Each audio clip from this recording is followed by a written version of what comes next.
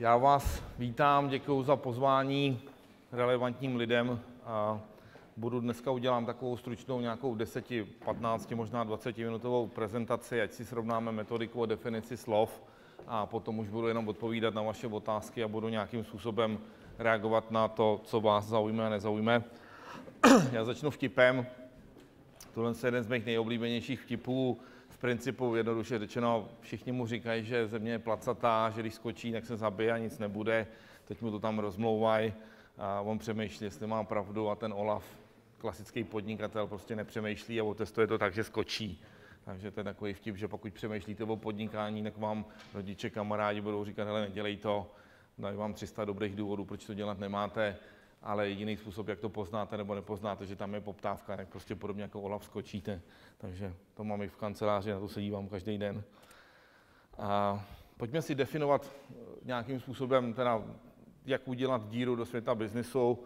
A já vždycky říkám, že díra do světa biznisu znamená, že ta firma by měla být globální, může být pidi, může mít klidně 30, 50 zaměstnanců. Není to o tom, že vytváříte zaměstnanecká místa prostě někde v Bánovcách nad Bebravou ze státních dotací.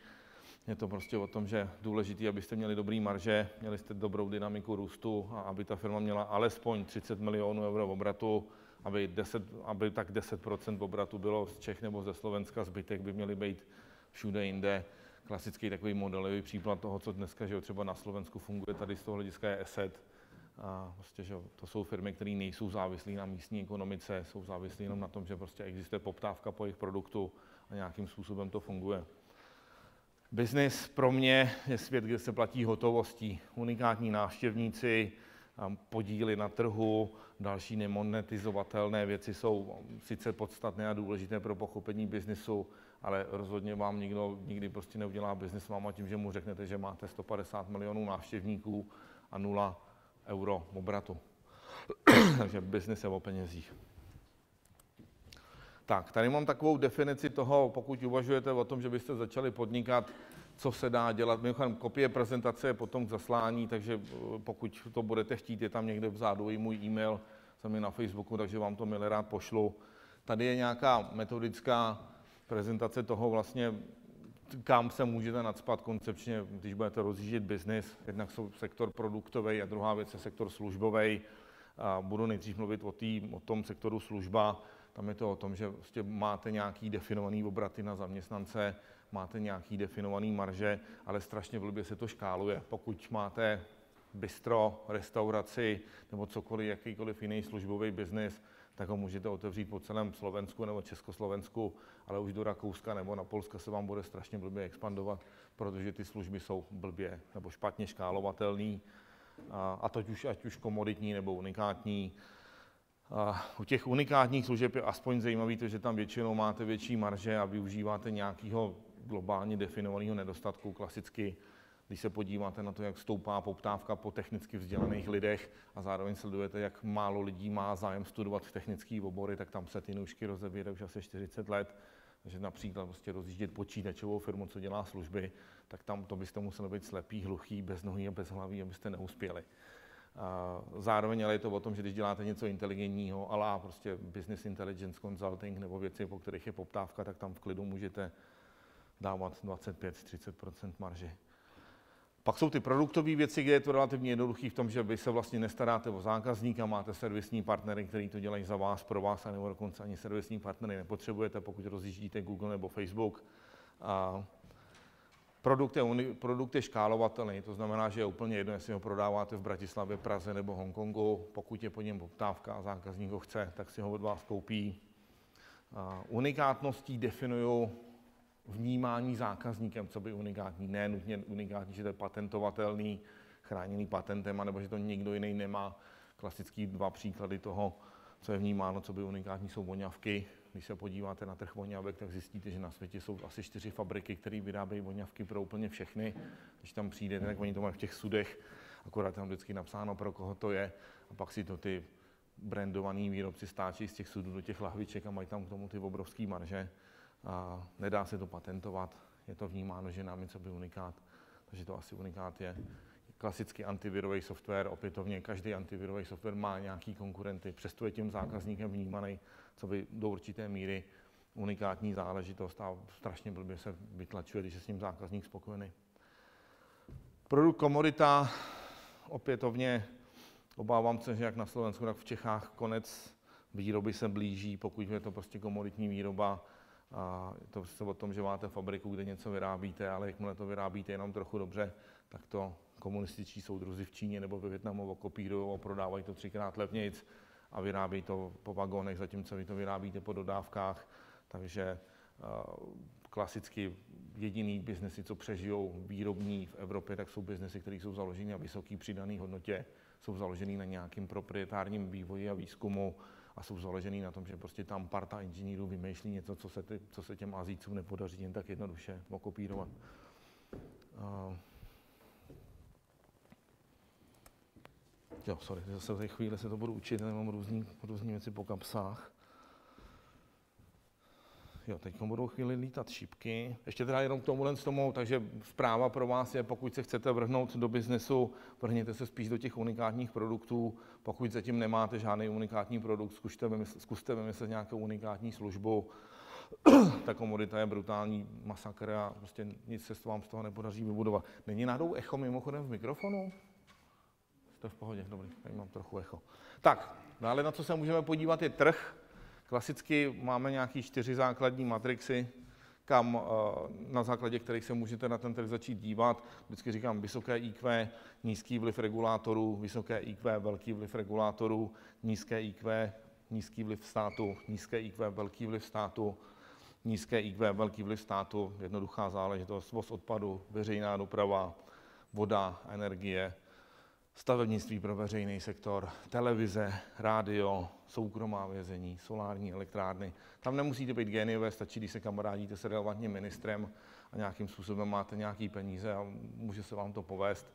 Jenom to je málo inspirativní. Vysoké IQ, velký vliv regulátorů, regulátorů armáda, péče o zdraví, retailové bankovnictví, sektory s velkým přesahem na státní zprávy. Mám mimochodem geniální vtip, který vždycky šířím všude, kde jsem. Já jezdím na Slovensku už asi tak 15 let, takže jsem zažil všechny tady ty změny vlád. A tak asi dvě volby zpátky jsem seděl s jedním pánem, který má velkou počítačovou firmu, která dodává služby do IT a bylo to tak do, do, do veřejné zprávy. A asi tak 14 dní před volbou jsem se optal, pane XY, co se stane, když se změní vláda. On se tak na mě podíval a říkal, víte čo, pán Rostok, volby vyhrajou naši, ale ještě nevíme, který. tak to se mi strašně líbilo, od té doby to používám. Takže prostě IT pro státní zprávu je klasická věc, kde jakmile se musíte bavit s regulátory, tak je to smutný většinou. A nízké IQ, nízký vliv státu, tam to je daleko zajímavější v tom slova smyslu, že prostě dokud jste ochotní pracovat a jste schopní něco vymýšlet, tak je to o tom, že se vám něco může podařit a ten úředník vám do toho nebude mluvit. Nebudou vám prostě říkat, hele, tamhle někomu prostě něco přidej, nebo tamhle potřebuješ nějaký potvrzení, nebo tamhle potřebuješ, abych já starosta nebo s tím souhlasil. Ideální samozřejmě je vysoké IQ, nízký vliv, nízký vliv regulátorů, protože pokud se prostě podnikáte třeba v elektrotechnice, tak to, že ten úředník tomu nikdy nebude rozumět. Pokud nebudete zabíjet malé děti a, a prostě důchodce svým, svojí technologií, tak uh, vám do toho nikdy mluvit nebudou. A že by se to náhodou naučili, tak už jste zase technologicky a mentálně někde jinde. Takže tady ten kvadrant je podle mého názoru nejlepší. Další otázka, nebo další věc. Máte na, vůbec nátoru na to, abyste začali nějakým způsobem podnikat a abyste něco, něco dokázali? Já jsem pochopil, že jsou dva typy, dvě kategorie lidí, kteří uspějí v biznesu. Jednak jsou to extroverti svůlí uspět a jednak jsou to introverti svůlí uspět. Takže není to o tom, že pokud vás nebaví lidi, ale chcete podnikat, že jste na špatné cestě, je to o tom, že introverti prostě pokud jsou dostatečně inteligentní a dostatečně odhodlaní, tak to zvládají, protože si většinou najdou někoho komplementárního a funkčního. Sedněte si, nestůjte, vítejte. Než si sednou, tak mám vtip. Víte, jaký je klasický vtip, rozdíl mezi introvertním a extrovertním programátorem? Odpověď, introvertní programátor se dívá na svoje boty, extrovertní programátor se dívá na vaše boty. Takže, takže Uh, takže pojďme se chvíli bavit s těma introvertama. Uh, introvert klasický prostě uvědomuje si svoje slabiny, obklopuje se lidma, kteří jsou vůči němu komplementární, nějakým způsobem je schopen díky tomu svýmu zaměření na detail kontrolovat, že mu ty lidi nelžou a nějakým způsobem je schopen ty lidi motivovat tím, že jim dává relativně velkou svobodu, aby ho neotravovali. Jeho základní problém většinou je v tom, že opravdu, jakmile se může potopit do detailu, tak se v tom detailu může taky utopit, ale to se ty inteligentní podnikatelé naučí. Introvert svůlí věci neřešit, já na tyhle lidi narazím pořád, to jsou prostě ty lidi, co vám že vysvětlí, že něco nejde. Jo, já třeba neznám, nevím, jak je to na Slovensku, ale třeba v Čechách a na Moravě, vždycky, když jedu do Olomouce, nebo Olomouce na to asi nejsilnější, tam prostě ty lidi jsou nějakým způsobem otrávený z politiky a dají vám 300 důvodů, proč něco nemůžou dělat. Naopak třeba Zlín, tam ty lidi vám dají 300 důvodů, proč něco se dá udělat. Takže tady z toho hlediska introverti, co prostě vymýšlejí problémy, tak se nehodí ani na podnikání, ani se vám nehodí, co by zaměstnanci mimochodem. Takže ty nenajímat ani. Pak jsou extroverti, extrovert svůlí věci neřešit, ty jsou problematický v tom, že si myslí, že na to mají, přeřvávají věci, mají tendenci je odflánkávat a v nejhorším vždycky zapnou charisma, myslí si, že to funguje ale prostě pokud jim schází koncovka, pokud jim schází to, čemu se říká německy sitzfleisch, což je tuším nějaký ocelový zadek v češtině, tak většinou nasekají víc chyb a víc problémů, než prostě to má smysl. A pak je extrovert, zvolí uspět. Tady těm lidem já říkám přirozený vítězové, je jich zhruba tak půl procenta v populaci, jsou to lidi, kteří prostě věci neřešejí rovnou, jak je napadnou, tak je udělají a funguje jim to takový trochu děti štěstiny. A s nimi je strašná radost pracovat, protože překvapivě třeba prostě 30 věcí, co udělali, tak jim z toho 29 vyjde a je dobrý s nima se kamarádit, protože je to i většinou legrace s nima něco dělat. Tak, uh, jsou dva přístupy k tomu, jak zvažovat, jestli vůbec začít podnikat. Krok číslo jedna je analytický, podíváte se na trh, zákazníky, marže, analyzujete si konkurenci na peníze, capex, opex, kdy vám to má vydělávat a tak dále a tak dále. Definujete si produkt, službu nebo jeho unikátnost Strávíte na těm 14 dní, dva měsíce, když se budete bavit s investorem, tak ještě po vás budou chtít nějaký business plán. Když vám to všechno sedne a všechno to funguje, tak je to super a strávili jste dva, tři měsíce přemýšlením o biznesu, který vás může příštích 50 let živit, a nebo to zkusíte a jdete do toho rovnou. Když to nefunguje, tak prostě zkrachujete, zavřete biznes a rozjedete nějaký nový. Neexistuje jedna metodika, jeden přístup, jak to dělat správně. Je to prostě o vás, je to o tom, jestli cítíte, že ten biznes má pro vás pardon, smysl, a je to o tom, jestli to chcete zkusit a za půl roku to zavřít, nebo to půl roku analyzovat. Ještě mimochodem k té unikátnosti, eh, to není jenom o unikátnosti produktu, to může být unikátnost procesu, unikátnost čehokoliv jiného, co prostě vymyslíte. Třeba klasicky v logistice nic nového nevymyslíte, z hlediska nějakých prostě věcí, které jsou dneska vyskoumané a proskoumané, ale můžete vymyslet nějakou novou unikátnost v logistickém procesu nebo nový software pro logistický proces a přestože to je definičně řečeno to není unikát, tak tím, že jste jediný, tak se s tím dá nějakým způsobem tvrdit, že to unikátnost je. Tak, cena. Moje oblíbené téma. V televizi vždycky ty lidi přijdou a my se jich zeptáme, hele, jak to chcete prodávat? A oni řeknou, budeme dávat slevy. A my tam vždycky spadneme z těch židlí a říkáme si, že to je trubka. A pak se jich zeptáme, hele, jak to chcete marketovat? Oni řeknou, koupíme si billboardy na dálnici. A to už jsme na zemi, takže nemáme kam padat, takže to už jenom válíme smíchy. A základní věc, kterou nechápu a prostě spousta podnikatelů nechápe v této zemi, je to, že prostě jestliže mám uspět, tak musím mít prémiové ceny, nikoli dis- diskontovaný. Já mám ten pocit, že lidi jsou zblblí ze supermarketu, že vždycky, když v sobotu jdou nakupovat, jsou tam ty velký plakáty slevy, slevy, slevy, že tak budeme taky dávat slevy. Jo, ale sleva znamená, že prostě tam nemáte tu marži, kterou nemůžete reinvestovat a nějakým způsobem si s tím potom hrát. Takže moje základní nějaká zpráva tady na tom slajdu je, pokud můžete účtovat za to prémium, pokud můžete mít dvakrát větší marže než konkurence, tak to dělejte, nestýďte se za to a snažte se ty marže ještě zvyšovat. Pokud to ten zákazník chce, tak to chce za jakoukoliv cenu. A další věc je u té cenové politiky konzistentnost. Já mám na tohle krásnou metaforu, nevím, si znáte Paramount Blanc, je to v takových těch, těch drahých časopisech, vždycky jsou na to reklamy, nekoupíte to levnějc než za 300 euro, a to je základní, základní propiska. Je to z normální pryskyřice, není tam žádná složitost, není to ani kov. Akorát si to prostě vyrábí ve Švýcarsku, má to takovou tu, bílou hvězdičku a lidi už si navykli na to, že to prostě za, des, za méně než 10 tisíc nekoupí. A jel jsem tuhle z Německa a stavil jsem se na hraničním přechodu na čínském nebo větnamském tržišti a díval jsem se na ceny a jdu okolo takhle jednoho stánku a tam mají prostě polici s těma Montblancama. Tak si říkám, to jsou nějaký kopie. Tak jsem si to vzal do ruky, hrál jsem si s tím, vypadalo to a funguje to teda od té doby, co jsem si to koupil, že to je, že to je opravdu originál, že to buď to někde ukradli, anebo to teda prostě někde v Číně vyrábí a někdo to tam prodává. Typněte si, za kolik jsem to perou těch Větnamců koupil. 800 korun. Jo, takže jsem si říkal, jsem dobrý, ušetřil jsem x tisíc korun, přijdu do práce, dám pero asistence a říkám, prosím tě, kup mi k tomu, kup mi k tomu náplň. A v Tesku stojí ta náplň, když to dám na eura, nějakých 50 centů. Typněte si, kolik stojí náplň do Mont Blancu. Jestli to zase přepočítám na eura, tak je to nějakých nějakých 15 euro. Je to unikátní v tom, že když si to koupíte, schválně to někdy vyzkoušejte, je to úplně normální náplň, akorát je tam takový speciální šroubek, takže když si chcete dát normální náplň do Mont Blancu, máte smůlu a musíte vypláznout tuhle tu cenu prostě za ty, za ty náplně. Jinak se si koupili péro, který je na nic. Takže a ještě mimochodem poslední věc k tomu pricingu, nikdy nedávají slevy. Všimněte si to, že si třeba chcete koupit ten švýcarský nůž, takový ten s tím křížem nebo pero Mont Blanc, tak nikdy nemají ani sezónní slevy ani před Vánocema, ani po Vánocích si nekoupíte tyhle ty věci levný. Prostě protože si řekli, náš standard že chceme nabízet luxus, chceme být vnímáni, co by unikátní a ten Franta, co si to koupí prostě ve slevách, tak není náš zákazník, takže Franto vles nám na záda. Buď to si ušetříš, anebo to nekoupíš.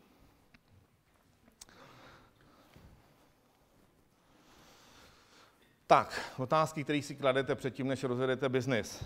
Uh, Umíte vést lidi, klasicky pokud jste extroverti, tak by vám to nemělo dělat takový problém. Pokud jste introverti, tak si to musíte učit a uvědomujete si to, co by svoji slabinu, ale jako se všem musí se na tom pracovat, aby to fungovalo.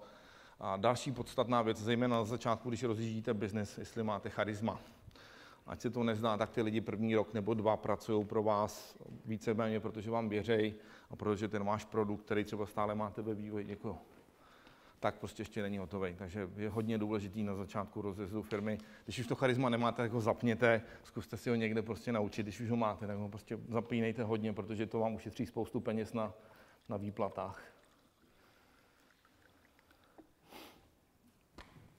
Další podstatná věc, která nevím, jak často sledujete tu televizi. Já jsem vždycky překvapen, jak na Slovensku sledujete českou televizi a fascinuje mě, že Češi slovenskou televizi nesledují a že mě v té televizi často, často vyčítáno, že prostě tam na ty lidi vytvářím stres.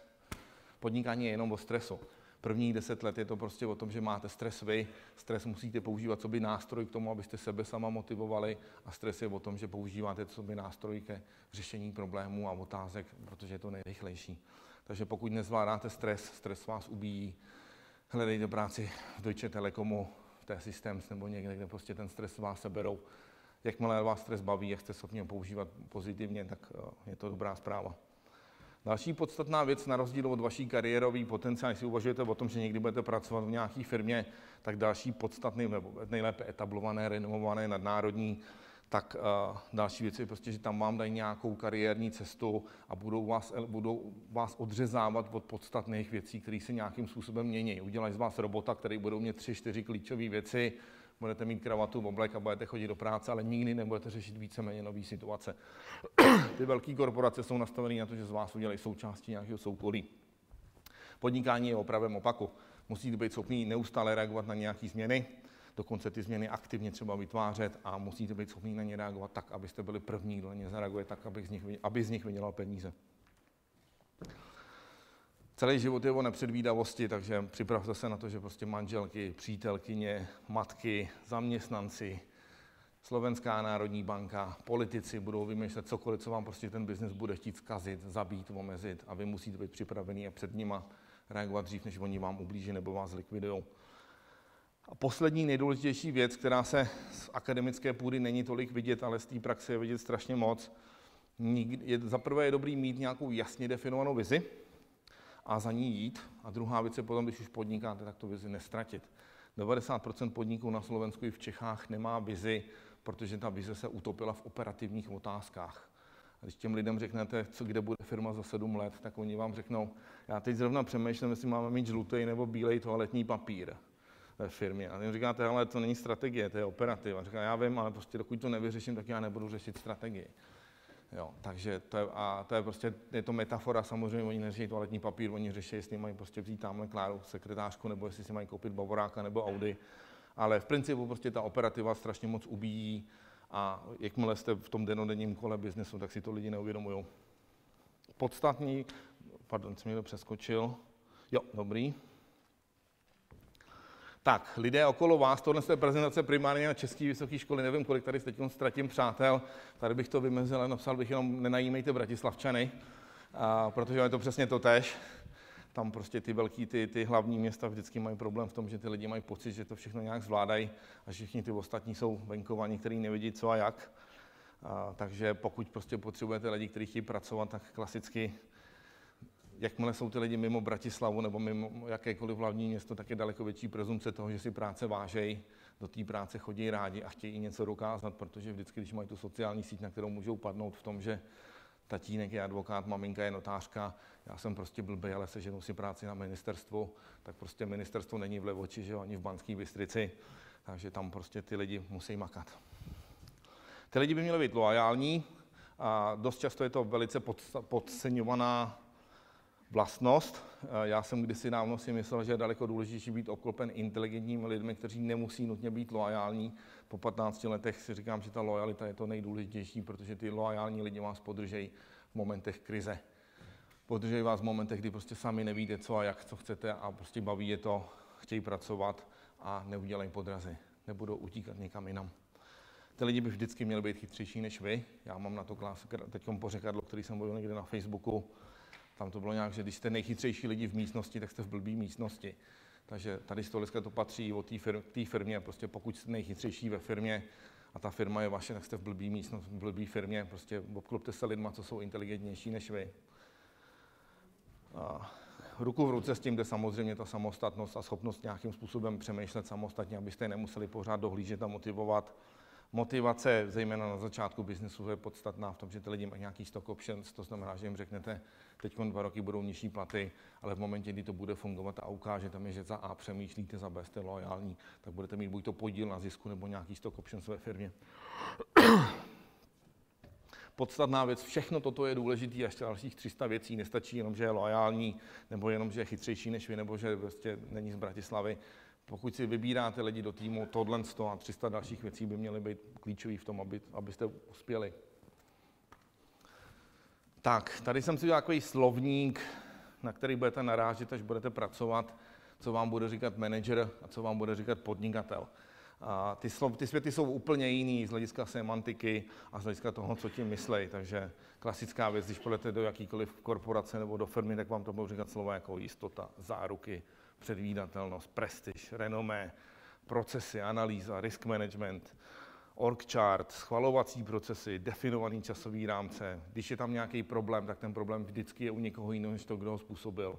Ty organizace jsou naložené na tom, že někdo jiný tam prostě potom slízne ten průšvih. A většinou potom, když ještě najmete manažery třeba do své firmy, dost často na to narážím, že firma prostě funguje šlapé, pak si najednou začnete myslet, že prostě je dobrý mít manažera z Deutsche Telekomu nebo ze Slovak Telekomu. A on řekne, že chce jo, 150 tisíc, pardon, sám v eurech, to je nějakých, řekněme, že chce 100 tisíc euro ročně pláta Audi 6, a pak vám vysvětlí, že má hypotéku na 25 let. A pak vám řekne, že v pátek už nechce chodit do práce, protože hraje golf a že to bude generovat biznis. Ten podnikatel má golf, ale auto, a nikoli, že by, s ním, že by prostě hrál golf, a, a takovýhle lidi, jako jsou manažeři, většinou vyhazuje, protože může spoustu peněz a nevygenerují žádný, peněz, žádný, žádný biznis. Slovní podnikatele máte tady, tam asi to není nějak moc co zúrazňovat. Jediná věc, že pro, prostě pro podnikatele problém je příležitost. Tak, uvedl jsem tady jeden z příkladů svých investic, uh, safetika.com, je firma, kde kluk, eh, to je dneska asi 25-letý nebo 24-letý kluk z brněnské techniky, který se spolužákama na škole tři roky bastil nějaký software. Po třech letech za mnou přišli, že chtějí peníze a že chtějí z toho udělat globální produkt. a, tak jsem jim dal nějaký peníze, pak asi za dva měsíce přišli o tom s tím, že ten produkt je úplně blbý a že ho musí kompletně přepsat. A, tak jsme začali pracovat na tom, aby teda ten produkt přepsali. Minulý rok měla Safetika 10 milionů korun českých obrat, letos čekáme 10 milionů euro obrat, evropských euro. A pokud se to povede, tak to bude hezká, příjemná pidi firma, ještě ne globální, ale prostě už tam bude mít našlápnuto na to, že by to mohlo fungovat dál. Dělají mimochodem z technického hlediska docela zajímavou věc. Oni přišli na to, že mají nějaký software, nevím, jak to vymysleli, že prostě brání úniku dat z firmy. Takže obchodní ředitel je vyhozen ze dne na den a předtím, než, než je vyhozený, tak si chce třeba okopírovat seznam zákazníků nebo seznam klientů na osobní mobil, si to vyfotí a chce si, sorry, omlouvám si, stáhne si to třeba na počítač a chce si to poslat na osobní hotmailový účet. Ten software to zmonitoruje, zabrání tomu, a zapíše to a pak ten člověk je vyhozený bez toho, že by prostě nějakým způsobem mohl ublížit. Umějí to snad údajně i na firmní mobily třeba, takže si vyjedete databázi klientů na firmní BlackBerry, vyfotíte si to, chcete si to někam poslat, monitorováno, zastaveno, prokázáno. Co se mi na majiteli nebo zakladateli té firmy, jmenuje se Jakub Mahdal, tak co se mi na něm líbí, on jako správný technik ví přesně, co chce. A klade mi jenom inteligentní otázky jednou za týden, většinou po e-mailu. A já mu většinou s těma otázkama hned po e-mailu nějakým způsobem jsem schopen buď to pomoci, i když nemohu dát slovo pomoc, tak spíš poradit. A vidíme se tak jednou za čtvrt roku. Můj druhý kolega mu tam dělá finančního ředitele, takže on má prostě obstaraný finanční management takovýhle firmy a je s ním radost pracovat. Ještě teda můžu mluvit o dalších investicích, ať je to nějaký konkrétní, jsem investor ve firmě, která se jmenuje Elephant Orchestra. To je firma, která letos má, nebo minulý rok měla asi 150 milionů českých obrat. Dělají lead management a content generation a podobné věci. A klasický podnikatel, to je kluk, který mu je dneska 620, já ho znám už asi 10 let, poznal jsem ho kdysi dávno, takže prostě za mnou přišel někdy před deseti lety. By přišel business plán do e-mailu, kde ten člověk po mně chtěl peníze, já jsem říkal, není to úplně špatný, potkám se s ním. On přišel, asi 30 minut jsme se bavili, pak se podíval na hodinky, řekl, Ježíš já se omlouvám, já musím zpátky do školy, mě skončila přestávka. Takže on prostě v 16 letech rozjížděl první biznis, ten zkrachoval samozřejmě, zkrachoval další asi tři nebo čtyři biznesy a někdy v 25, ve 24 ho osvítila můza, že prostě tady ten biznis bude fungovat. Přesvědčil mě a přesvědčil pár mých kamarádů, že jsme mu dali peníze. Uvidíme, jestli se to povede. Další biznes, kde jsem investor, je třeba Internet Mall. To je dneska relativně velký, nějaký číslo dvě, asi na Slovensku i v Čechách po Alze, obchod s elektronikou. Tam je zase, jak se říká v angličtině, overly competitive zakladatel, to je člověk, který prostě i o víkendu musí vyhrávat. Taková klasická, připravte se na to, když s těma lidma budete jednat a nejste sami podnikatelé. Před pár lety jsme byli o víkendu někde u kamaráda a byla taková 10.30, 10 ráno. Lidi se probouzeli, protože jsme v pátek předtím pařili. A tak si tam tři lidi házeli létajícím talířem a on přijel a říkal, hele, to ne, musíme hrát na body. Takže prostě v 10 ráno v sobotu scepenělí jsme tam kvůli němu prostě začali hrát na body, že on všechny zblbnul. Za 20 minut zjistil, že prohrává, protože byl v týmu, který prostě prohrál. Říkal, tak to ne, to musíme předělat týmy. Přeházel týmy. Zase jsme začali hrát a vyhrával, a pak byl spokojený. Jo? Ale prostě v sobotu ráno, říkal jsem si, klasický podnikatel. Strašně jsme se mu smáli všichni. Zdroje podstatné věci. Pokud chcete nějakým způsobem rozjíždět biznis nebo chcete se o ně aspoň zajímat a analyzovat ho, tak tohle jsou webové stránky, které vám nějakým způsobem pomůžou a zorientovat se v tom, abyste opravdu globální pěti firmu mohli vybudovat, abyste nevymýšleli nějaký kopie toho, co už dneska někdo vymýšlí v Silicon Valley nebo v Hongkongu. RedHerring.com je specializovaný globální spravodajský server na firmy, které chtějí podnikat v technologiích, počínaje životním prostředím a končí třeba IT nebo telekomunikacemi. A cokoliv si tam napíšete v angličtině, že chcete dělat vy, tak vám tam většinou vyleze 150 firm, které už to poslední půl rok nebo rok nebo deset let dělají. Takže to vám ušetří strašný kvantum času v tom, abyste vůbec to třeba nerozjížděli nebo si zanalizovali, v čem musíte být jiný. McKinsey Quarterly je zajímavý v tom, že pokud se nepletu, pro studenty mají tam přístup zadarmo, to vám zase strašně moc pomůže uvažovat v grafech a v nějakých prostě mapách. Oni jsou velice dobrý na komunikaci spoustu věcí v grafickém nebo vizuálním stylu a graf ušetří 300, 300 slov. Takže a navíc tam mají dobré analýzy prostě jednotlivých trhů, takže když si to tam najdete podle průmyslu a podle toho, co chcete dělat, tak se vám tam hodně moc pomůže pochopit, jak fungují ty větší a velké firmy. Financial Times jsou dobrý na to, abyste pochopili, co se děje ve světě, kde se co vyvíjí, jak ty lidi uvažují. Nějakým způsobem se snažili to napodobit nebo zlepšit.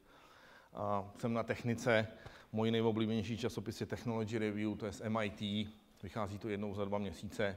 Pro technika by to mělo být doporučené čtení, protože na rozdíl od Red Herring to není jenom o biznesu, ale tam právě kombinují tu techniku a ten biznes do týmy, že tam je vždycky třeba profil nějakých startupů, co vymysleli v laboratořích, mluví tam, píšou tam lidi, kteří prostě na MIT studovali, příjemné inspirativní čtení. Wikipedia, cokoliv dneska nevíte, tak najdete na Wikipedii klasicky. Vždycky mi někdo pošle nějaký e-mail, že by chtěl peníze, já mu říkám, máte business plán a oni po mně chtějí, abych jim prostě poslal nějaký business plán, tak říkám, ne, najděte si to na Wikipedii. Takže jakýkoliv diskuze předtím, než se do nich vrhnete, když strávíte tři hodiny na Wikipedii přípravu na diskuze, tak ušetříte sobě i lidem okolo sebe spoustu času. A Bloomberg je zajímavý v tom, že zase pochopíte, jak se dělá biznes v Americe, jaký jsou tam čísla a jakým způsobem to funguje. Tak, už se dostáváme pomalu k otázkám. Máme, musím být jedničkář, abych uspěl v podnikání. Naopak, já mám tu tezi, že dvojkaři a trojkaři zdědí svět. Ty jedničkáři jsou většinou že natolik neurotický, že stráví o 30% více času, aby dostali jedničku, ne dvojku a těch 30% času, pokud strávíte přemýšlením o biznesu nebo organizováním své firmy, tak, bude, tak, tak uspějete. A musím dostudovat, abych, dospě, abych uspěl. A já se přiznám, že spousta lidí má tu tendenci říkat ne, a vlastně, že Bill Gates se vybodnul na škola, rozjel biznis a podobný. Já si upřímně řečeno myslím, že stojí za to dostudovat, protože ta škola vám dá nějakým způsobem teoretický zázemí a schopnost uvažovat a schopnost dívat se na věci s nadhledem, pokud chcete studovat a studovat, pokud chcete studovat a pařit, tak vám dá čas na to, abyste o tom přemýšleli aspoň nad tím pivem. Ale rozhodně doporučuji dostudovat. Teprve v momentě, kdy vás to fakt hodně nebaví, nebo už máte firmu, která má 10 milionů euro a jste ve třetíku na vysoké škole, tak pak teoreticky má smysl se na to vybodnout. Jo, ale obecně ta zpráva je zkuste dostudovat. A jak mám motivovat lidi kolem sebe, když nemám peníze, klasický charisma, stock options, a těm, způsob, těm lidem prostě sdělit, že to, co děláte, má smysl a že potom bude poptávka. Rodiče mi říkají, že si mám raději hledat práci, než abych podnikal. Má matka pravdu. A nemá. A řekněte jí to a rozhodněte si svoji firmu. Jedna z těch základních věcí, která je u podnikání důležitá a podstatná, je, že podnikatelé jsou, pokud netunulují státní rozpočet, biznisová elita dané země a co by elita nesmíte a nemůžete dělat to, co vám říká průměr. Takže cokoliv vám říká prostě průměr, toho se bojíte. Já cestou jsem se viděl ten nějaký plagát, kde bylo takové to nějaký ta singularita, kdy bude eh, počítač chytřejší než člověk. Jo? Ta odpověď, to se stalo někdy v roce 67, protože když dneska dáte že základní algoritmickou otázku komukoliv, tak ten průměrný člověk nezodpoví. Takže singularita je s námi už tak 40 let. Jo? Prostě ten průměr neumí počítat, ale prostě ten počítač už dneska je chytřejší než člověk. Takže tady z toho hlediska prostě neposlouchejte průměr. Běžte za svým snem, zkuste si to prosadit. Na tu maminku samozřejmě buďte hodní, ona vás bude živit. Jo, v sobotu, v neděli prostě nebudete mít na oběd, tak si při ní skočíte na oběd. Takže není to o tom, že byste na ní měli být zlí, ale prostě rozhodně ji neposlouchejte. A... Lojalita versus inteligence, o tom jsem už mluvil. Jakou roli hraje v podnikatelském úspěchu ego? Podle mého názoru zásadní a základní. Pokud chcete něco dokázat, tak doopravdy budete bojovat proti průměru, budete bojovat proti všem, protože si prostě budete muset jít za svým. Pokud máte malé ego, neskoušejte ani začít podnikat, protože prostě je to o tom, že pokud něco dokážete, tak to dokážete proto, jaký jste, nikoli proto, že se někde něco stalo. Potřebuji MBA na to, abych uspěl. Já mažu životopisy lidí, co mají v, eh, v podpisu nebo na vizice MBA Nevím proč, za posledních 15 let jsem neobjevil jedinýho MBA, který je prakticky prostě pro funkční firmu. Takže pokud uvažujete o MBA, tak neuvažujte, nemá to smysl. Tak, prezumce podnikatele, nějaký základní věci, s kterými prostě pracovat. A ty podstatní, budu vybírat jenom ty podstatné. A vaše, vaše, vaše větší konkurence nemusí mít nutně pravdu nebo správný business model. To, že se díváte na trh a chcete něco rozjet a už si říkáte, tady je deset velkých firm, které něco dělají, pokud jste schopni se nějakým způsobem odlišně definovat, tak to nevadí, že tam už je dneska nějaká konkurence daleko podstatnější, jaký má ta konkurence marže. A pokud budete mířit na to, že ty marže budete mít stejný nebo vyšší než oni a budete vidět, že to funguje, tak je to dobrý začátek. Nemá cenu prostě zahajovat cenový války tím, že jenom podsekáváte na ceně. A klasická další věc, dost často narážím u techniků na to, že jsou příliš přemýšliví a příliš analytický. Mám tady zajímavý plán, ale nevím, co s tím mám dělat, anebo prostě teď si budu půl roku dělat analýzu toho, než prostě zjistím, jestli to má smysl nebo ne. A podnikání není o přemýšlení na půl roku, podnikání je o přemýšlení na 14 dní a o připravenosti. Takže tady z toho hlediska, pokud vidíte nějakou příležitost, zkuste to jí rozjet, moc o tom nepřemýšlejte. Pracujte na tom, abyste byli nahraditelní. Pokud budete 10 let makat, tak budete samozřejmě unavený a měli byste mít ve firmě lidi, kteří, když odjedete na rok do Brazílie, tak prostě za vás tu firmu budou vést a že to funguje. Taky dost často se stává to, že podnikatelé mají rádi ty adrenalinové sporty. Nadprůměrně velké množství podnikatelů rádo lítá v letadlech, většinou jednomotorových a nad prostě horami nebo lesy. A nadprůměrně velké množství podnikatelů má rádo závodní auta, a s kterými hodně rychle jezdí mezi Bratislavou a Prahou. A černá Audi sportovní, s nimi se kamarádím už, jestli jezdíte rychle. A, takže prostě tam dost často ty podnikatele jsou smrtelní v tom, že díky tomu, že si potřebují rychle odpočinout nějakou, nějakou adrenalinovou věcí, tak se zabijou.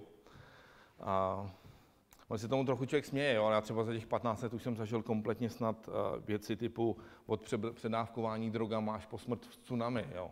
Takže prostě, když už mi někdo zavolá a říká, ale pan majitel se zabil v letadle, tak říkám číslo 7. Jo. Prostě, že tam je to relativně běžný, je to relativně normální, protože ty lidi, když prostě 6, dnů v týdnu makají, tak ten sedmý den by chtěli lítat a to, že jsou mraky, je nezajímá. Jo. Tak, další věc je, vyhybejte se korupci a korupčníkům. Tady v tom mám pocit, že jak Slovensko, tak Čechy mají stále základní obrovský problém v tom, že ta korupce je endemická a nějakým způsobem prolézá jak vaši, tak českou společnost. A je to takový zvláštní svět toho, že prostě tamhle Jožo se zná s Ferem a Fero zná pana ministra. A točí si tam miliardy, ale není to biznis, je to korupce, je to v principu organizovaný zločin. A nikdy, pokud prostě nejste v tom kruhu, tak si to nenaučíte. Vždycky ty lidi odrbou potom i vás. Takže ani nemá cenu se tam nějakým způsobem do toho vrhat. Další velká pravda, budujte firmní procesy. Ta firma, pokud funguje a šlape, tak to součástí vaší nahraditelnosti by mělo být to, že jsou tam lidi, kteří vědí, co a jak, jsou schopni to zvládat bez vás a je tam nějaká příručka nebo kuchařka, na základě který ta firma může fungovat i bez vás. Další velká pravda, hlídejte si profitabilitu. Dost často narážím na to, že lidi si třeba půl roku nehlídají cash flow, nehlídají si profity a pak jsou strašně překvapení, že firma nemá peníze a volají investorům a jsou strašně překvapení, že investoři řeknou, že jsou to bastlilové, a další klasický pravidlo, který zjišťuji, že spousta lidí nemá vymyšlený, je, že spousta firm a spousta podnikatelů řeší staré problémy tím, že vymýšlí nové příležitosti. Tohle to nám nefunguje, tak rozjedeme něco nového, tam to bude fungovat. Základní psychologická chyba. Jestliže prostě mám nějaký problém, tak ho nejdřív musím vyřešit a až ho vyřeším, tak pak vymýšlím nové příležitosti. Ale prostě zažívám denně lidi, kteří si říkají, tohle to nefunguje, vyzkoušíme tohle a teď 6 měsíců dělají tohle a pak to zase nefunguje, zase vymýšlejí něco nového. Takže tady z hlediska držet se svého kopita, řešit problémy, nikoli odsunovat vymýšlením nových příležitostí. Další podstatná věc, většina nemá nikdy pravdu a první 10 let podnikání pracujete 12 hodin denně, 6 dní v týdnu. Tady jsme už ten vtip řekli. Tady potom, jestli vás můžu poprosit, jestli chcete prezentaci, spíš poprosím o soukromý e-mail, to je mix Michal Igor Xaver vi.cz nebo na tenhle ten, ale ta, ten soukromý e-mail lepší, tady to máme ve firmě sdíleno. Pokud chcete něco řešit, jsem na Facebooku, ať už co by osoba nebo co by firma, mám tam asi 800 nebo 850 friends a snažím se tam obklopovat lidma, kteří prostě nějakým způsobem řeší biznis a řeší věci, které okolo toho zajímají. Takže mi určitě neposílejte zprávy typu zítra chlastáme doraž což se mi taky stává, pak už si s těma lidma nepíšu. Tak prosím, vaše otázky. Takže otázka zněla na množství těch slevomatů a, a těch firm, co chtějí nabízet a vydělávat peníze na slevách. A, Tuhle jsem byl před 14 dnama v Košicích a jel jsem do nějaké vesnice za Košicem a tam už taky ten slevomat rozjížděj. Jo. Jinak řečeno, já se trochu bojím, že je pozdě. Já poslední tři čtvrtě rok dostávám tak jeden business plán za týden, kde ty lidi prostě jim svítějí oči a chtějí, chtějí nabízet slevy. A jsou fondy a investoři, kterým to nevadí a prostě najdou toho správného člověka a zkusej to. Jo. Já třeba tady z Tolicka mám tu zkušenost, že daleko radši pracuji s lidmi, kteří už jednou nebo dvakrát zkrachovali, vědí, co chtějí a vědí, co nechtějí. A jedna z těch věcí, která je podstatná u tady těch věcí, je to, že když jste desátý, tak pravděpodobně skončíte desátý. Takže mě tyhle věci moc nezajímají, pokud tam není nějaký ultra inteligentní, ultra pracovitý a ultra super dobrý manažerský tým, který mi řekne, jo, jsme desátý, ale chceme být prostě první, protože to, to a to budeme dělat jinak. Ale v principu vést se na té vlně klasicky Groupon to dělá jak dlouho? Dva roky, tři roky. A za půl roku bude zase něco jiného sexy a vy prostě si rozjedete firmu a zjistíte, že za půl roku prostě nikdo jiný to bude chtít dělat jinak. Tam klasicky, že z hlediska investora ještě jedna podstatná věc, na to je exit. Eh, ta firma, když ji vybudujete, já si mimochodem myslím, že stojí za to pracovat a vybudovat tu firmu minimálně, to trvá 10 let. Za kratší dobu než 10 let solidní, inteligentní, zajímavou firmu nevybudujete. Je na to protinázor, a to já říkám tady tím, já říkám prostě, že investiční vexláci, že prostě rozjedou biznis, za půl roku to prodají a za spoustu peněz a jsou spokojení. Já bych se to strašně rád naučil, ale já to neumím. A vždycky, když jsem to zkoušel, tak prostě někdo jiný byl rychlejší, dokázal to zvexlovat víc. Já bohužel prostě si vybírám lidi, kteří chtějí pracovat, protože vím, že s nimi cokoliv dělat znamená, že s nimi budu pracovat minimálně 10 let. Ale pokud máte něco geniálního, co si myslíte, že za půl roku společně bouchnem Facebooku, jsem s tím, podívám se na to. Ale musí to být geniální. Nesmí to být 150. další produkt. Ono se to nedá takhle krystalizovat do těch dvou věcí. Jo. Třeba pro mě, já mám základní můj problém v tom, že už 15 let neposlouchám rozhlas český nebo slovenský a nečtu noviny. Takže pro mě to bylo zajímavé stolické, že jsem vlastně po 15 letech pochopil, jak uvažuje ten prostě průměrný, průměrný Čech nebo Slovák. A pro mě bylo neuvěřitelný šok to, že ty lidi prostě, když už to třeba viděli předtím v televizi, tak nejsou schopni si napsat ani business plán. Jo? Přestože prostě každá třetí otázka je, máte business plán. Takže můj první závěr byl, pokud evoluce existuje, tak je strašně pomalá. Jo. Pořád nevím, jestli existuje nebo ne. Z toho, z toho, co tam vidím, co tam ty lidi chodí, tak si spíš řekl, že evoluce neexistuje. Teda, jo. v tom asi prostě papež může mít pravdu. A je to empirický, to se prostě s tím se nedá argumentovat, že tam nejsou data. A co se týče toho, že to, jestli tam nějaký biznis je nebo není, tak tam biznis překvapivě je. To, co zatím jste třeba neviděli, ale uvidíte, že já jsem se dohodnul asi s dvouma nebo s třema firmama, s kterými jsem se na kameru nedohodnul, protože když vidím zajímavou firmu, tak to není o tom, že jsem schopen se s ní dohodnout během 30 minut. Je to o tom, že s nima potom třeba půl roku se bavím, půl roku diskutujeme, když mě potom přesvědčej, tak tam zainvestuju. Takže já jsem se nakonec třeba stal investorem v té firmě, co tam dělá ty online platební systémy, jmenuje se to GoPay. A pak jsem se tam stal investorem ve firmě, kterou vůbec nakonec ani nevysílali, protože o těch lidech řekli, že jsou příliš technický. Takže jo, mám tam prostě pár kšeftů. A je to zajímavé v tom, že se snažíte vzdělávat ty masy. No. Sázíte na to, že ta evoluce přece jenom existuje. No. Dobrá otázka. Otázka zní, v jakém časovém horizontě očekávám návratnost. Na úrovni investic tady toho druhu to prostě nemůžete takhle počítat, protože ten Excel a ty tabulky snesou všechno. Já když jdu do nějakého kšeftu, tak pro mě ta podstatná věc je, co to je za partu lidí, jsem schopen se s nimi bavit a jsem schopen s nimi něco výhledově do deseti let vytvořit. Takže časový projekce prostě financí na pět nebo deset let jsou že čistá fantazie. Já přemýšlím, že u nás v kanceláři si vemu nějaký plagán prostě na všichni, že se dneska dívají do té křišťálové koule, já bych ještě přizval kartářku, protože to je zhruba stejný, stejná úroveň kvality predikce budoucnosti. Takže já si to takhle nepočítám. Mě spíš v principu zajímají, jaký ty lidi mají marže, nebo s jakýma maržema chtějí prostě pracovat. Takže když to pracujeme se 50% marží plus, tak poslouchám. Když mi říkají, chceme jít do slev a chceme tam mít prostě 3% marže, tak jim říkám, budete hodně dlouho pracovat, abyste nic nevydělali. No, přiznám se, že jsem v životě neviděl televizní nebo rozhlasovou nebo tiskovou reklamu na Facebook. Životě jsem neviděl prvních deset let fungování Google, jsem neviděl reklamu na Google. A teď ji mají, ale prostě jenom proto, že, že si chtějí tady zahrát se, se seznamem nebo se seznamem v Čechách. Takže já vždycky mám ten pocit, že když se bavíme o reklamě nebo o marketingu, tak já usínám, protože za A tomu nerozumím a za B si myslím, že 90% vyhozený do reklamy do marketingu jsou ztráta peněz. Jo. Takže zase klasický venture, starý venture kapitálový pravidlo je, že ten produkt musí být desetkrát lepší než cokoliv jiného, protože ten moment ty peníze na marketing nepotřebujete. Ty lidi si to řeknou. Jo, prostě nejedu v Yahoo, jedu v Google. Jo, dneska nikdo z vás ho nepoužívá. Jestli někdo používá Google a Yahoo, zvedněte ruku. Nikdo, jo, prostě. Takže tam ta reklama Yahoo mělo reklamy. Takže tady z dneska podle mého názoru třeba marketing a reklama jsou vyhozený prachy. Zase bavíme se samozřejmě o tom, že komu a co prodáváte. Pokud chcete rozjet biznis na software, na prostě nevím, software pro salony krásy, tak samozřejmě těm že ženským, v tom, těm majitelkám těch salonů krásu nějakou reklamu musíte ukázat, protože ty ženský si to někde to uvidí a pak tam přijdou. Jo. Ale pokud se bavíme o biznesu založeném na inteligenci a IQ, tak pro mě je ta reklama strašný kvantum. Ztráta peněz, ztráta času a otrava. A navíc všichni mají červený tenisky a vlasy, takže jim nemůžete věřit. A otázka zní, jak moc třeba nový média nebo nový reklamy jsou prostě neregulovaný státem, nebo co jsem tím měl, co jsem tím myslel. Tak, já vám na to budu odpovídat nejdřív negativně, přitom si zasunout kaničku. Nic, nic divného zatím není, nejsem jako prezident Klausi, tady něco kradu, omlouvám se. A to třeba mimochodem s tím Klausem klasika, jo, republika zlodějů, všichni kradou, kradejí prezident, já jsem se tomu nějak moc nedivil, jo. Nicméně otázka. A teď jsem viděl tři nebo čtyři zajímavé projekty, kde prostě ty lidi vymysleli nějaký nový způsob, jak vydělat peníze na té reklamě. Jo, že to nejsou jenom nějaký PPC a podobné bejkárny, třeba ten Elefant Orchestra, ten prodává lídy na internetu a generuje lídy. Jo. A viděl jsem nějaký tři nebo čtyři prostě biznesy, které se snažili vydělat peníze na tom, že když se někde zmíní klíč, tak prostě zase oni s tím něco udělají, zanalizují to, takže se těm lidem objeví na webu relevantní věci prostě ke klíči a podobný. Takže nový média, nová reklama je prostě pro mě to, že nějakým způsobem jinak definujete ten tok peněz a tok informací o tom, že zákazník něco chce a z toho vymyslíte business model.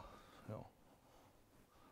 Ale klasicky třeba věc, kterou zatím nikdo nevymyslel, první, kdo vymyslí search engine, která bude fungovat pod Googlem, pod Facebookem, dobře, tak zase na tom vydělá miliardu, jo, protože zkuste cokoliv najít přes Facebook. Jo.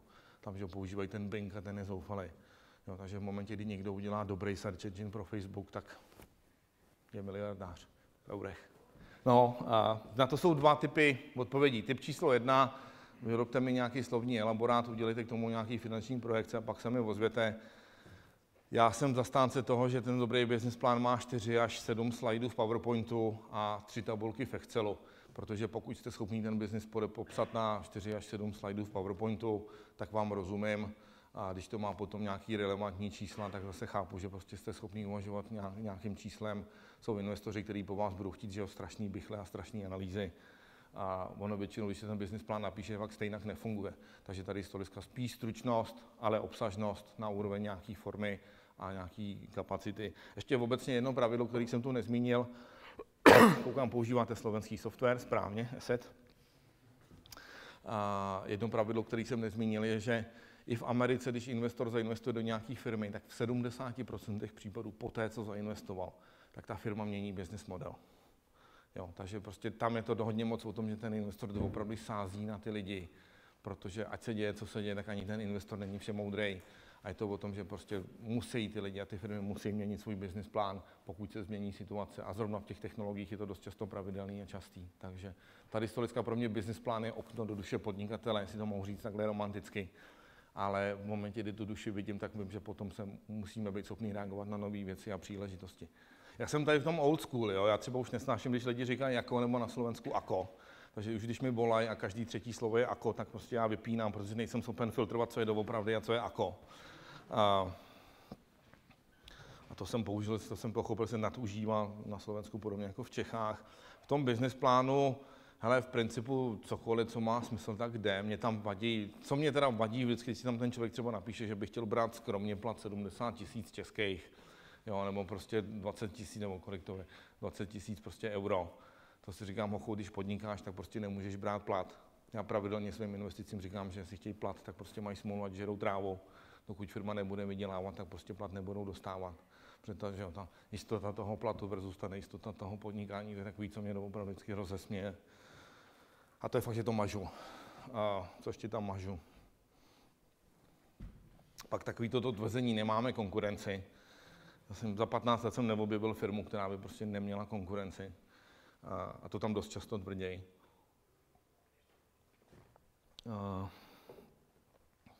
Jo, a pak ještě občas, teda ne, ne, že bych to mazal, ale mám obrovskou skepsi vůči lidem, kteří mají v životopisu, v té části životopisy managementu, tak mám obrovskou skepsi vůči lidem, kteří třeba říkají, deset let jsem pracoval ve Slovak Telekomu, deset let jsem pracoval v Logice, protože za těch deset let se ty lidi naučí tam ty slova, ty fráze, ty instinkty, které jsem uváděl u těch manažerů a to je diskvalifikuje od podnikání. Pod slzy a pláč. Ještě na vás budu řvát v sobotu nebo v neděli.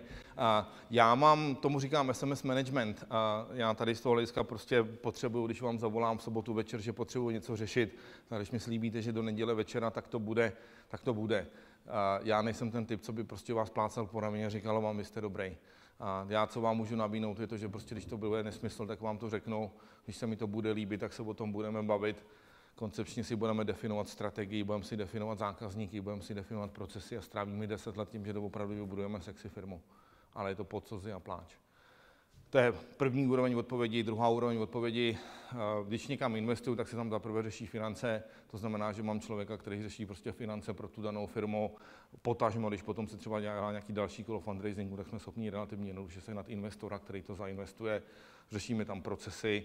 Dost často u startupů a začínajících firm je podstatný mít nějaký zákazníky a já už to dělám 15 let, tak jsem schopen spoustu lidí prostě představit zákazníkům. Takže i tohle Jo, samozřejmě, já to dělám už 15 let, můj cestovní, teď třeba tady ten měsíc, když to řeknu jednoduše, kde jsem všude byla, všechno byl biznis, tak jsou Košice, Bratislava, Praha, Londýn, Washington. Takže prostě já tam pořád potkávám nějaký lidi, takže jestliže máte zajímavý software, který chcete něco řešit prostě v Americe, tak já se podívám do vizitkovníku a řeknu, ale zavolej tamhle Johnovi nebo Georgeovi, popovídej si s ním. Já na to nemám často číst, na to se mě vždycky akademici ptají, co čtete. Uh, pak mi říkají nějakého toho Japonce, Kiyosaki, Kawasaki, něco takového. Já se přiznám, že já prostě 15 let odpočívám tím, že dělám věci, které nejsou spojené s podnikáním a mezi ně nepatří teda odborná literatura na, na podnikání, ve volném čase čtu science fiction a prostě takovýhle ty spíš relaxační věci. A přiznám se, že manažerskou knihu jsem měl naposledy v ruce před 15 lety, kdy Andy Grove, zakladatel Intelu, napsal knihu, že v biznesu přežívají jen paranoidi tam mě zaujal ten titulek, to jsem říkal, to bych mohl být já. Tak jsem si to přečet, ale od té doby jsem o biznesu víceméně nic nečet. Tam spíš potom je zajímavý čistý noviny, protože tam to máte, že ho destilovaný a máte to tam funkční. A teď mi někdy před minulý týden mi někdo vrazil do ruky knihu, která vyšla v češtině od toho člověka, co se jmenuje, tuším, že Kawasaki, a je to o tom prostě nějakých, je tam víceméně popsaných prvních 500, 500 chyb startupů, klasická chyba, že jo, prostě když rozjíždíte firmu, já jsem to třeba udělal blbě, ta firma se má jmenovat od A, protože prostě firmy od A s jménem od A dostávají víc biznesu než firmy od V nebo od Z. Jo. A, ale těch je tam prostě takovýhle věcí, je tam asi 300, ten člověk se jmenuje Guy Kawasaki, v angličtině to tuším, že Art of the Startup, v češtině je to nějaký umění začínat, jo. ale to je tak všechno. Tak poslední tři otázky, jestli můžu, ať to akcelerujeme. Zopakuju otázku pro vás vzadu. Má cenu se bavit s investorem, když začínám, nebo ne? Záleží na tom, kam tu firmu chcete dostat a co od toho investora chcete. Pokud chcete být živnostník a mít prostě fungující klub nebo hospodu nebo firmu s 50 lidma, tak ten investor pro vás není. Jo, to je prostě lifestyleová firma, s který si zaplatíte vilu, jachtu, manželku, milenku, tři děti, co chcete. Jo. Ale prostě ten investor tam tak nějak nemá místo.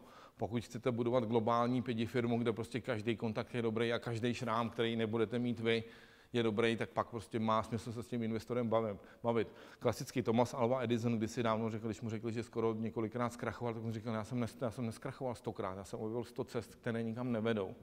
Jo. A ten investor prostě většinou už spoustu těch cest už prožil a bude vám říkat, hele, zkus tam mít, ale nikam to nevede. Takže je to vysvětleně o situaci. Tak, otázka číslo jedna ze tří. Máme ještě dvě, poslouchám. Tak zaprvé si nemyslím, že jsem zkušený a a teď nevím, co bylo to druhý, já mám po ten pocit, že hlavní chyby mám před sebou, nikoli za sebou. Není to o tom, že bych prostě už nějak měl to penzum chyb vyčerpaný. A poradenství tady z toho hlediska u těch startupů je spíš o tom, že byste měl mít nějakého mentora, který se vkoupí do vás, vkoupí se do vaší vize a pak s váma na tom bude pracovat. Takže tady z toho hlediska klasicky třeba, co říkám, máte biznis v elektronice nebo v IT, objevte si někoho, kdo už takovouhle firmu má 10-20 let, to dělá úspěšně a řekněte mu, hele, ty máš 100 milionovou firmu, já dneska nemám firmu, ale za dva roky by jsem rád měl 10 milionů firmu v korunách, takže řekněme prostě 500 tisíc euro. A s tím člověkem, když se kamarádíte, tak pak s ním můžete dělat biznis. Takže to na téhle úrovni je to o tom, abyste se bavil s někým, kdo rozumí té vaší branži a společně si sednete. Protože ten člověk vám bude odpovídat na e-maily v sobotu nebo v neděli nebo v pondělí v 10 večer. Takže to je spíš o nějakým mentorovi, než o nějakým placeným, placeným poradenství. Tak, poslední otázka. Tohle je moje zhruba šestá nebo sedmá firma. První ne firmu, ale jsem rozjížděli, když mi bylo sedm let a bráchovi pět let, tak jsme vzali klacek, dali jsme ho přes cestu a vybírali jsme mítné. A vybrali jsme mi krabičku cigaret, láhev piva a ještě něco. Ten první seriózní, tady ten biznis jsem rozjížděl, takže někdy v 26 letech nebo v 25 letech jsem pochopil, že nemám zaměstnaneckou mentalitu. Mě prostě nebavilo chodit do práce s taškou a s kravatou a říkat prostě nadřízeným, ale máš hezkou košili a můžu jít v pět hodin domů. Takže jsem někdy v 26 letech založil firmu, koupil jsem si laptop, tiskárnu a fax, a odstěhoval jsem se k přítelkyni, z bytu jsem si udělal kancelář a prostě začal jsem dělat biznes z kuchyně. Pak jsem prodal kus firmy, ta firma, co to koupila, tak zkrachovala, takže jsem pak zase tu firmu kupoval zpátky a tak dále a tak dále. Není to, nejsem ten extrovert, který mu všechno vychází, když to řeknu takhle. Ale na druhou stranu jedna z těch věcí, kterou znova a znova řeším, je, že v momentě, když vám to pak funguje, tak už nikdy není cesta zpátky. Už se vám nikdy, prostě pokud budete mít funkční biznis, tak už se vám nikdy nebude chtít nikam pracovat. Než, než to pochopí headhuntři, jak vám třeba budou volat headhuntři a budou vás říkat, máme tam Audi 6 a manažerské bonusy, vy se tam přijdete podívat, protože chcete zjistit, kolik za kolik by přetáhli vaše zaměstnance do té firmy. A pak většinou buď to s děsem v očích, anebo s úsměvem na těch odcházíte a říkáte si, není pro mě. Takže děkuji za váš čas a někdy zase na viděnou.